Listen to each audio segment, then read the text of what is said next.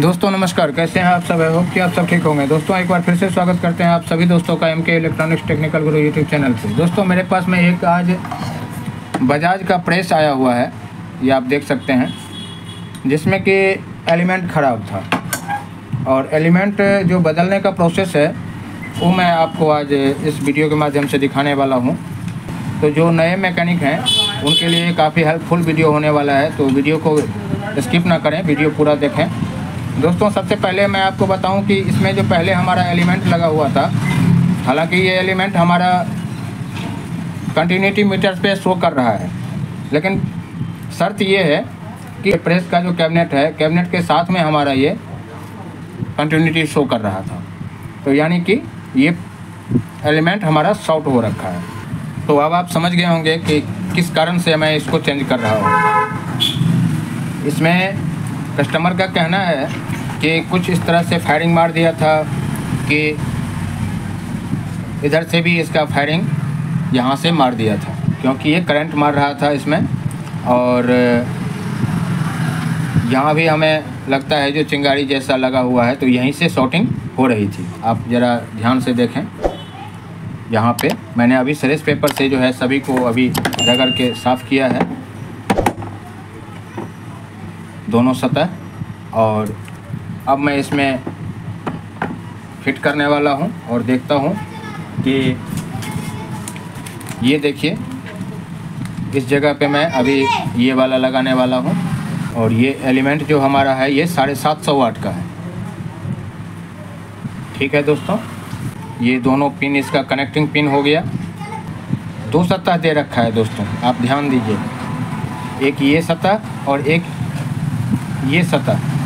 तो इसमें आपको जो लगाना है, ये ऐसे पलट के लगाना है और पलटने के बाद और यहाँ पे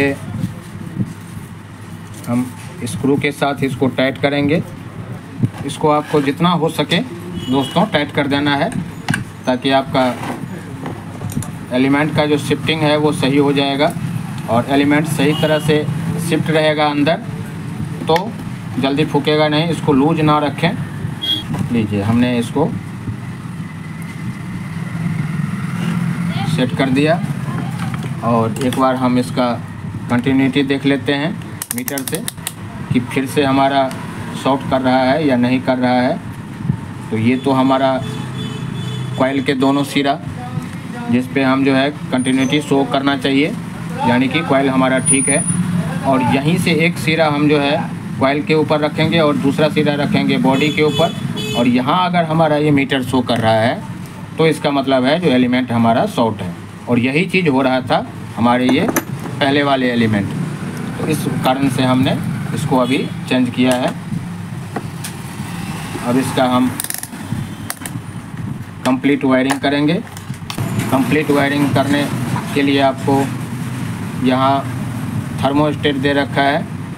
थर्मोस्टेट को थोड़ा सा जो है, जहाँ से स्रेस पेपर से, क्योंकि अभी खुला हुआ है तो स्रेस पेपर से साफ़ करने में आसानी होगी। यहाँ जो हमारा ये दो पॉइंट है, इसको हम अच्छी तरह से, एक इसको और एक नीचे वाले को, ये दोनों को हम अच्छी तरह से साफ़ करेंगे स्रेस पेपर से।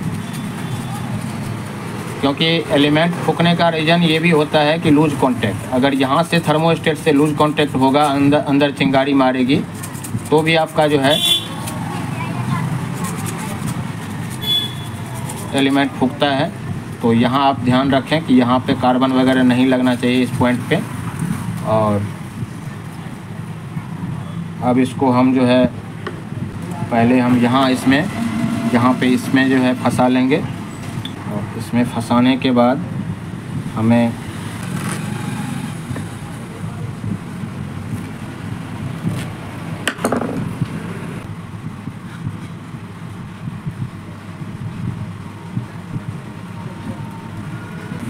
ये थर्मोस्टेट सेट करने का भी तरीका है दोस्तों। इसको आप जो है बहुत लास्ट में जा कर के इसको ऐसा रखना है कि हल्का सा इसमें से टचिंग छूट जाए और बाकी जो जगह है, वो हर जगह उसका टच होगा। आप देख सकते हैं, यहाँ पे गैपिंग हो रही है और जैसे ही यहाँ से थोड़ा सा मैं घुमाऊँगा तो यहाँ से ये टच कर जाएगा। ये आप देख सकते हैं टच कर गया। तो इस तरह से ये थर्मोस्टेट का सेटिंग होता है। जब तक टच नहीं करेगा, तब तक हमारा ये एलिमेंट में सप्लाई नहीं जाएगा। वो इसलिए नहीं जाएगा कि एक हमारा कनेक्टिंग होगा यहाँ पे और एक कनेक्टिंग होगा यहाँ पे।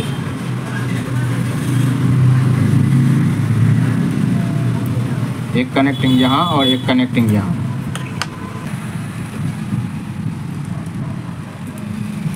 अब ये हमारा दो पॉइंट हो गया। अब यहाँ पे कोयल को हम चेक करेंगे। कोयल हमारा ठीक है। और ये हम थर्मोस्टेट के साथ में हमारा कोयल का टेस्टिंग करेंगे। तो ये हमारा ठीक है। ठीक है दोस्तों, अब हम एक बार यहाँ बॉडी को टच कर टच करके ये चेक कर लेंगे। कि हमारा ये फिर से कहीं शॉर्टिंग तो नहीं है। अब ये हमारा जब ओके हो गया तो अब क्या करना है? ये दो तरह का होता है मतलब ये एलईडी लगाने का तरीका। जो एक होता है, जो सप्लाई हमने प्रेस में दे दिया तो हमें पता चल जाए। और एक होता है कि जो सप्लाई देने के बाद प्रेस ऑन होगा, यानी एलिमेंट में सप्लाई जाएगा तो हम वहाँ से कनेक्शन लेंगे। तो अगर आपको सिर्फ़ सप्लाई देने के बाद ही तुरंत पता करना है तो आप इसमें और एक इसमें और एक इसमें जोड़ दें तो सप्लाई का तुरंत पता चल जाएगा। और अगर आपको चाहिए जो नहीं, जब तक हमारा एलिमेंट ऑन नहीं होगा, तब तक हमें ये जलना नहीं चाहिए तो आप एक पॉइंट यहाँ और एक पॉइंट यहाँ जोड़ दें। तो इससे क्या होगा, जब एलिमेंट में सप्लाई जाएगा, तब आपका जो है, ये एलईडी ग्लो करेगा। तो इसमें जो सही तरीका है वो आपको प्रेस में लाइट देने के तुरंत बाद आपको पता चल जाना चाहिए कि प्रेस में लाइट आ गया है और अब हम आगे का प्रोसेस करें। तो अगर आपका हीटिंग हो रही तो ठीक है, नहीं तो आप यहाँ से रेगुलेटिंग करके हीटिंग करवा सकते हैं।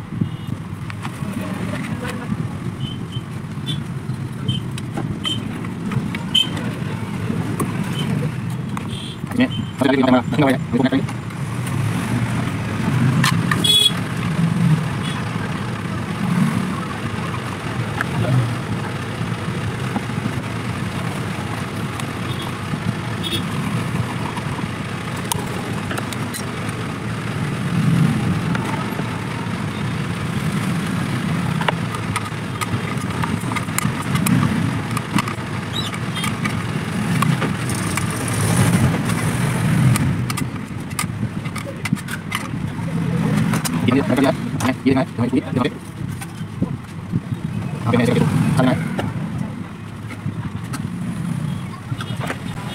हो गया हमारा फाइनल। अब इसमें हमें दोनों वायर को ज्वाइंट करना है। अब दोनों वायर जो ज्वाइंट करेंगे, उससे पहले क्या करेंगे हम? एक बार वायर की भी टेस्टिंग करेंगे। क्योंकि जब हमारा एलिमेंट चेंज हो गया है तो फाइनल के लिए हमें एक बार वायर का टेस्टिंग करना ज़रूरी है। तो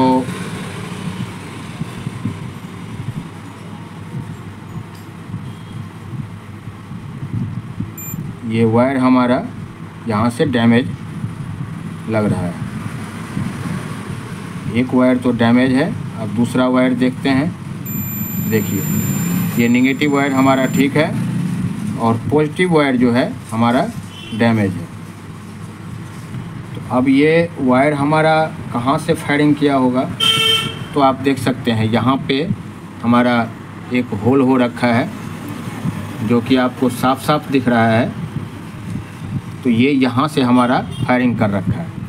तो अब हम इस सिचुएशन में क्या करेंगे तो इस वायर को देखेंगे कि और जगह भी हमारा डैमेज है या एक ही जगह डैमेज है।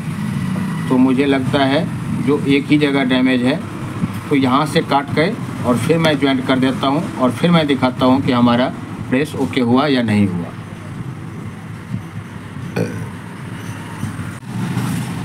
तो दोस्तों, सबसे मेन और सबसे अहम मुद्दा जो है हमारा ये वायरिंग के ऊपर आता है।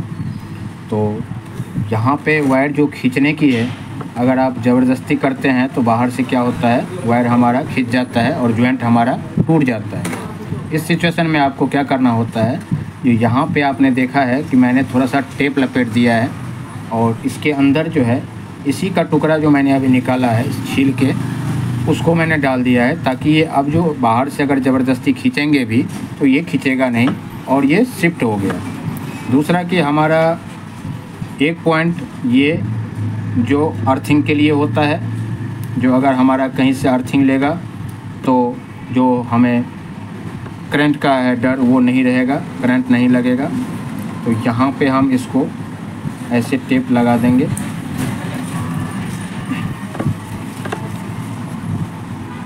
उसके बाद दूसरा पॉइंट हमारा आता है निगेटिव और पॉजिटिव।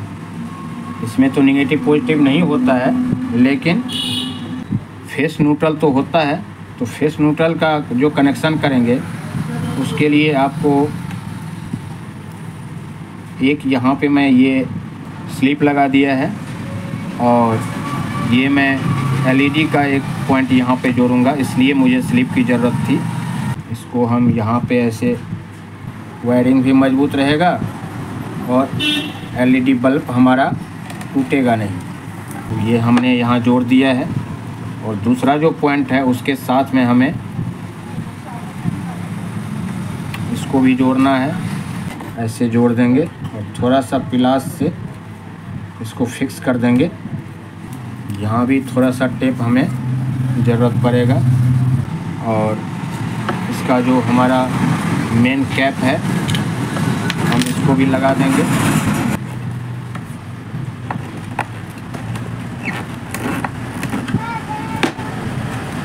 यहाँ आप ध्यान दीजिएगा।